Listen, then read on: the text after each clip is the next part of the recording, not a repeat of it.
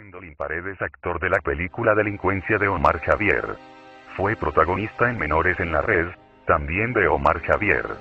Fue ganador por dos veces en concurso de monólogos, como mejor vestuario y mejor monólogo de la noche, también lo pudimos ver en diferentes comerciales político para la televisión, llevándolo a ser reconocido por miles de personas.